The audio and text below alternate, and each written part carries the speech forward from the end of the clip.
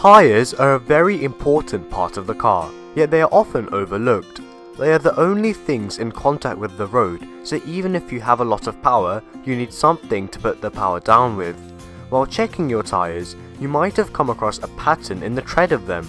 In this video, we'll be explaining each type of tread pattern along with its pros and cons.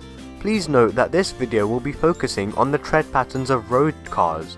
But first of all, what is tyre tread? Tyre tread is the rubber on the tyre that makes contact with the road. The larger the contact area you have with the road, the more grip you will get.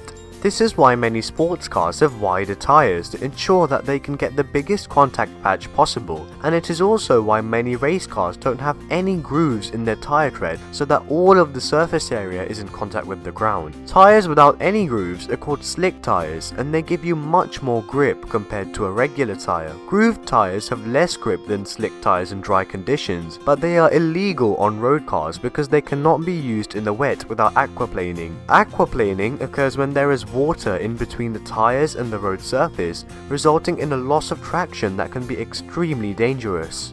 There are three main types of tyre tread patterns, multi-directional or symmetric, asymmetric and directional.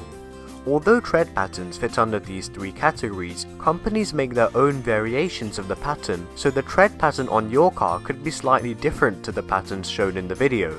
Let's start with symmetric or multi-directional tyres. These tyres are commonly found on cheaper cars as they feature a simple tyre tread pattern.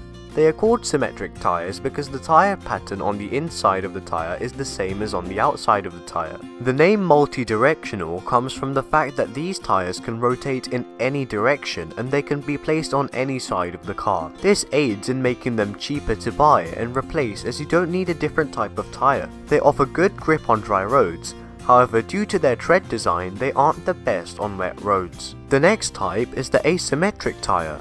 These tyres have a different tread pattern on the inner and the outer of the tyre, so they are the best of both worlds from the wet and dry. The outer tread is best for giving grip in the dry, and the inner tread is best for giving grip in the wet. This can make them expensive. Because of the two different patterns, these tyres must be facing a specific way when mounted onto the car, unlike multi-directional or symmetric tyres. The part of the tyre that must be facing the outside will be marked. Many performance cars use this type of tyre due to its advantages.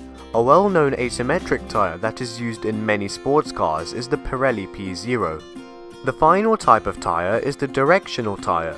These types of tyres feature an arrow-like design and they are brilliant in wet conditions because the shape of the tread pattern is very good at displacing water to the sides and away. Because of their tread design, they are very grippy so this design is used in a lot of all-weather tyres. They are not very versatile compared with other tyres though, as they can only be placed on one side of the car and in one direction. In conclusion, multi-directional tyres are best if you are on a tighter budget.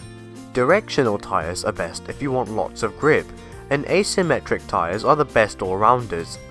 Also remember to never mix a tyre tread on the same axle of the car as they will offer different handling and grip level so it can be very dangerous. What type of tyres do you have on your car? Comment below.